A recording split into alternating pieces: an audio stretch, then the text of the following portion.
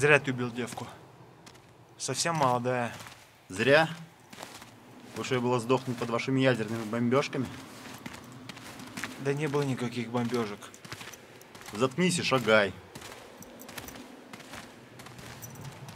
За 9 лет, что пришли с крушения, вы там окончательно чокнули в своем альянсе. Ну, федеративный альянс. Ваш два бункера даже одну полночь на зиму не протянут.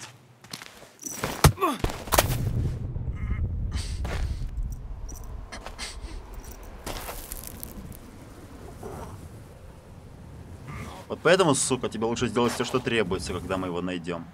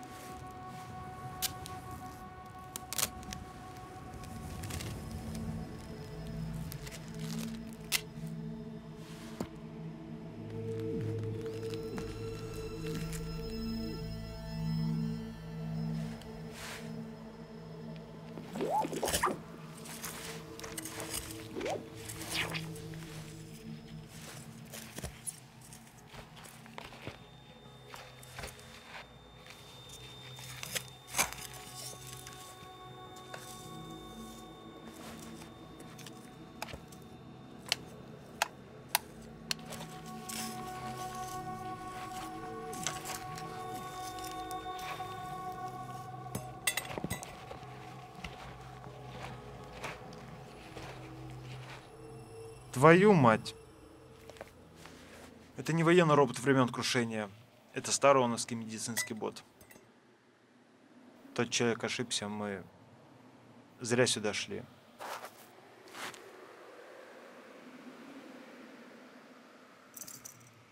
Стой, я знаю, как получить доступ к логам.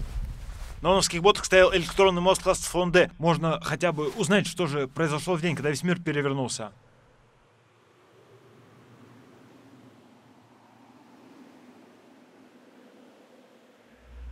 Действуй.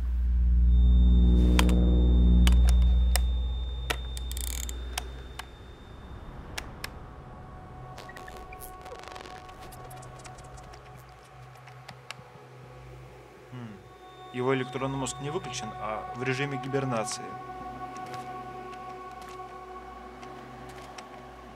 Странно, он давно должен был отрубиться. Что это значит? Мы можем использовать вербальный интерфейс. А ответить он нам сможет? Ну, я могу активировать его речевой модулятор. Вдруг ты не умеешь читать?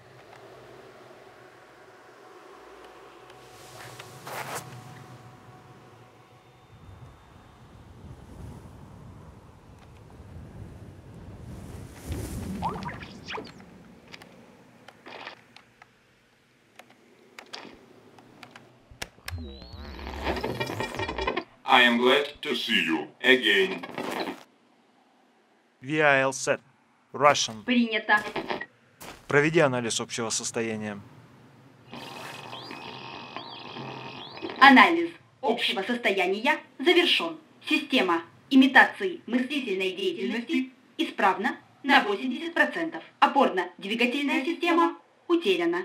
Телепатический модуль утерян. Система накопительных баз данных исправна на 97%. Система автономного питания Утеряна. Система дальней связи Отставить. утеряна. Ты можешь дать нам логи событий на 27 сентября 2085 года? 27 сентября 2085 года. 0000. Отставить. Проанализируй логи за указанный отрезок времени и кратко резюмируй по совокупности событий, приведших к глобальной планетарной катастрофе. Кодовое название – крушение. 27 сентября 2085 года на орбите Юпитера были обнаружены три сотни звездолетов. За 20 минут они окружили планету Земля. Насколько мне известно, флот прибыл из системы Проксима Центавра. С флагманского корабля в кабинет генерального секретаря ООН был телепортирован полномочный представитель расы Проксимиан. Но произошла ошибка, и он оказался на лестнице штаб-квартиры ООН. Оценив ситуацию, он обратился к неустановленному чернокожему мужчине средних лет в деловом костюме. Поскольку при земной силе тяжести проксимиане испытывают определенные сложности в передвижении, полномочный представитель предельно вежливо попросил помочь ему добраться до кабинета. Но из-за внешней сложности проксимиан с земными виноградными улитками мужчина просто наступил на полномочного представителя. Встроенные в его скафандр датчики сигнализировали о его смерти на флагманский корабль Проксимиан, что было расценено как открытое объявление войны. После чего по земле были выпущены квазиядерные торпеды, уничтожившие жизнь на планете. Конец резюме. Хм. Наверное, произошел сбой в его протезированных нейронах. Я могу транслировать все имеющиеся видеозаписи событий, приведших к крушению, напрямую в зрительную кору вашего мозга. Без телепатического модуля? Если вы сможете собрать нейронную шину, я смогу осуществить передачу. Вот список необходимых компонентов. Давай рюкзак. Большинство деталей мы получим из регенератора воды.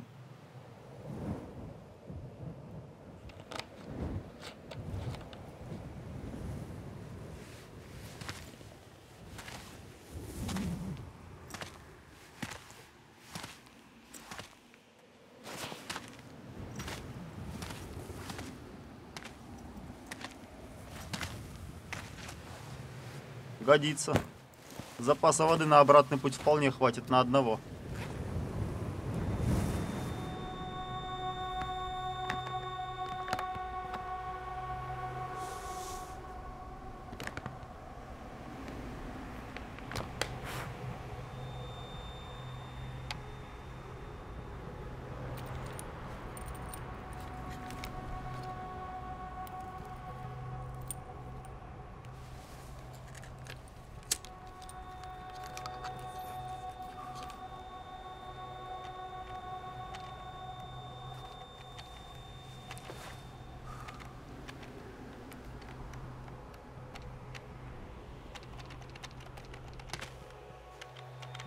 Ты собираешься сам принять передачу?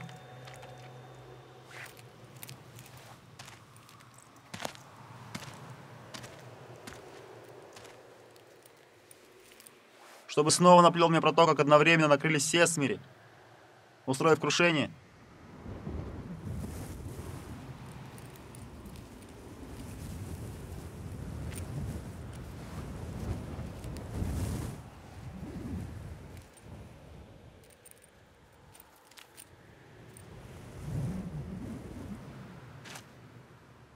Не годится. Запускай передачу. Запускай нейропередачу. Мои источники резервного питания на исходе. Мне нужна совместная энергия ваших мозговых импульсов для осуществления передачи. Мне придется собрать еще одну нейрошину.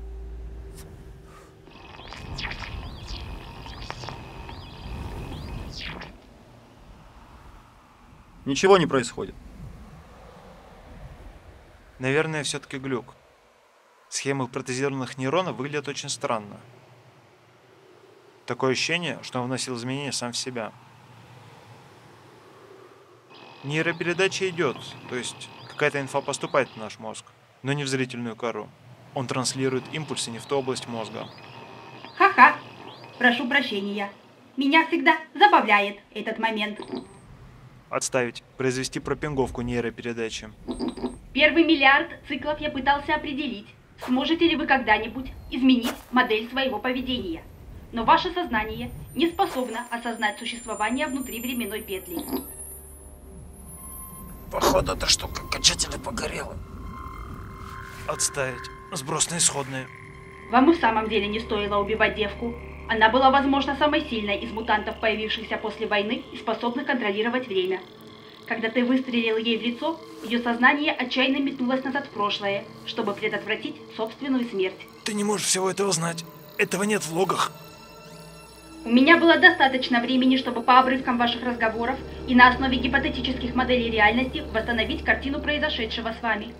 Импульс, созданный ее мутантными нервными окончаниями, породил замкнутую временную петлю, которая начинается, когда умирает она, и заканчивается, когда умираете вы. Затем все повторяется снова. И снова. И снова. Я не собираюсь тут сдохнуть. Он питается нами, провоцирует чудовищную выработку соляной кислоты в желудке. Наше тело переваривается изнутри. Это мой единственный способ здесь выживать. Гильшину. Тогда у него не будет контроля.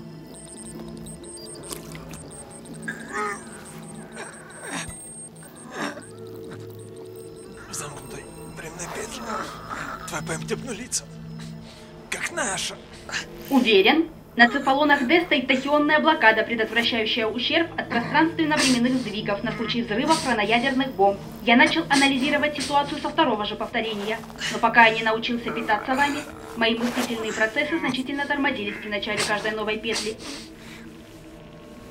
Эй, в этот момент ты обычно успеваешь спросить, как давно это длится.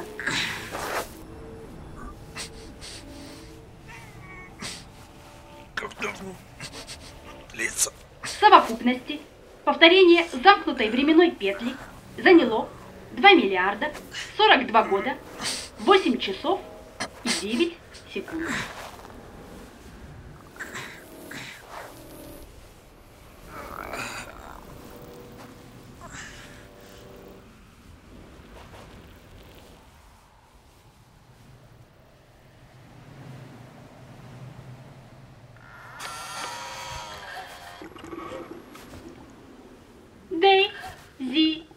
Daisy, give me your answer, do.